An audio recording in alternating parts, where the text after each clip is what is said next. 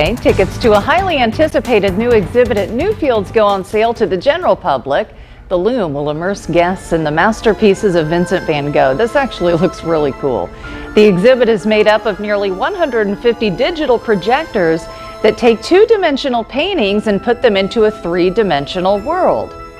Tickets are already available for members of Newfields. They go on sale to everyone else this morning at 11. The exhibit opens July 27th.